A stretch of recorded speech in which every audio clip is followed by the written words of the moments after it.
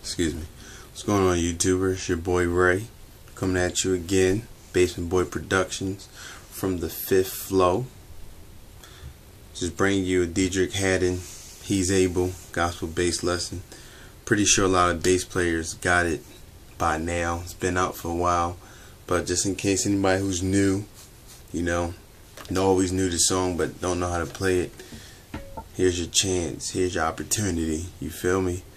So I already prayed from the other lesson I did to a couple, maybe an hour ago, which was was it? The, uh, Our God's Awesome by Charles Jenkins. So with that same spirit and anointing and prayer, we're going to do on this lesson. So the song starts in B. And it modulates or goes all the way up to D. That's where the song ends. So the first verse is exceedingly abundantly above all that you can ask or think, according to the power that worketh in you. And that bass line is played the same way. So, by the way, that's the scripture. What is that? Down to, I think it's in Ephesians or something. So, it starts on the four, exceedingly, which is the E abundantly, then you do four, three, two, one, which is E, E flat, C sharp, B. Alright? So exceedingly, abundantly, above all. Then you go to the five, which is F sharp, you can ask, then to the E or think, which is the four. Then you stay on it according to E to the power that word giving you, you. All right, and you go to the verse or to the yeah, you go to the to the chorus. God is able to do just what He said He would do. He's going to fulfill every promise to you is the first one. And that is so after you do the walk down, and this is the walk down for the whole song, it's just four, three, two, one. Alright? God is able to do five, just what he said, six, four, four, three, two, one. Alright, so I give you notes for B but you had a progression so when you go up if you just remember that progression you will be able to play the whole song without actually knowing all the notes as it pertains to that major scale if you just remember the progression. So again the progression is the same exact progression as uh, Charles Jenkins um, our God is awesome. It's just different tempo so God is able to do just what he said he would do. He's gonna fulfill every promise to you. Now don't give up on God is this. Four, three, two, five, which is F sharp and B. Then you just take it up a half step to G, which is the flat six. Then you go to the six, A flat, five, F sharp, four, E. He's able, or you just do the run again, and that's the whole song. So we're in B.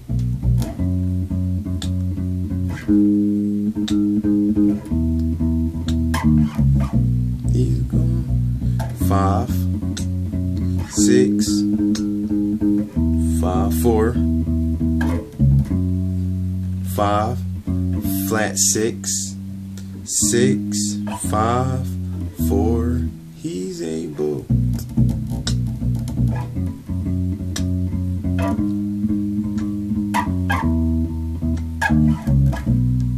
All right. And the thing, when they modulate to the next key, the way they modulate is they do the same four, three, two, one, but they do it in the next key that they're going. So we're in B.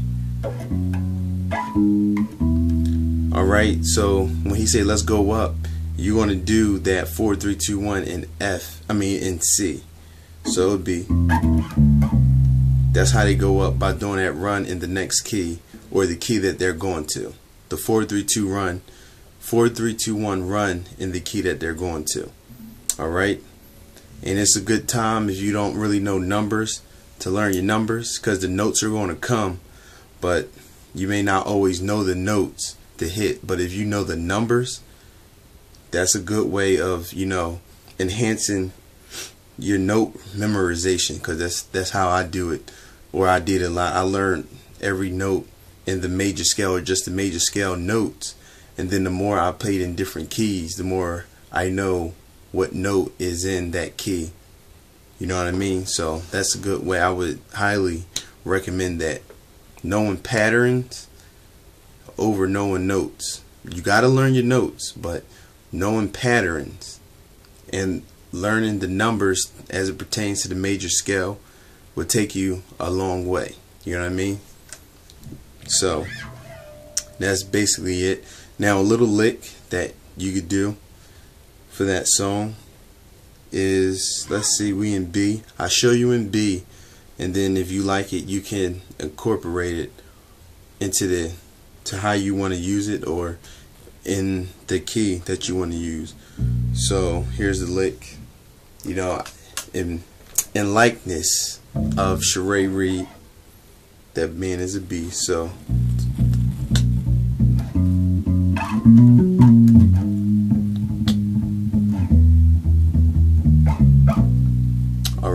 So the lick was.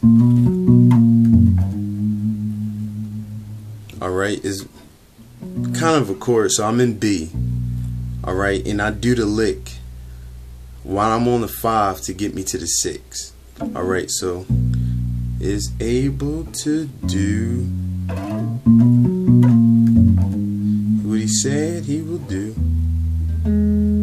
Alright, and the lick is you go in the key of B. You go B flat, slide to B, then you hit the F sharp then you hit the B is with the F sharp. So it's so you see that? So it's a chord. If they all start individually, then you hit the chord. So B flat to B, slide B flat to B, F sharp, then hit the B while the F sharp still ringing. Go back to the B flat, then you just hammer, well, slide from the F sharp to the A flat. Then, alright, so all together it's, so,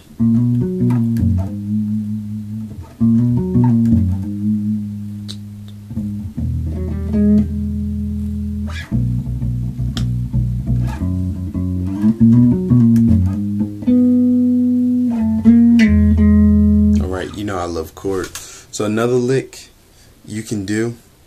I just again I'm gonna just stay in B. You could just move these chords up or this, these licks up to the any key that you want to do it part of the song or whatnot. So another lick that you can do.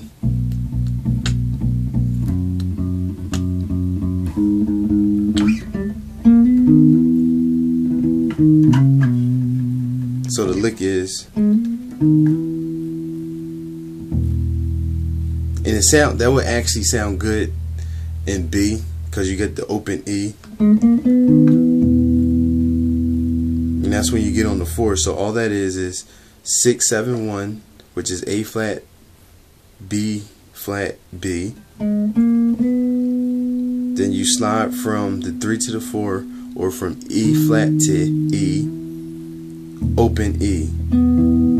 Is a think of it as a chord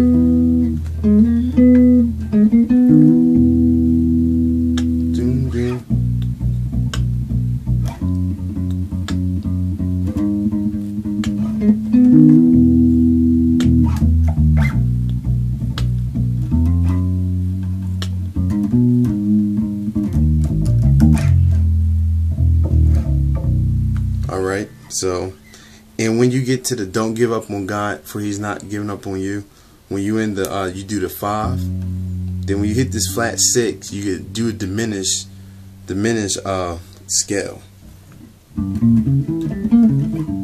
So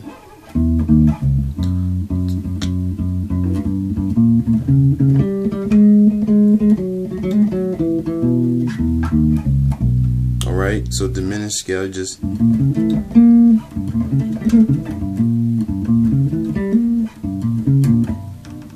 Alright, and I got a lesson that I, I did on a diminished scale, like what to do on diminished, so you can check that out too. So that's about basically it. You know, again, everybody who's been commenting and subscribing, I really appreciate it. Continue to keep it up because it motivates me and it pushes me and everything. So hopefully this lesson was a success and a help. Hopefully it was. You know what I mean? If not, let me know. If so, let me know. I'm about to go to bed because I got a freaking history test tomorrow. So pray my strength in the Lord. Peace. I'm out.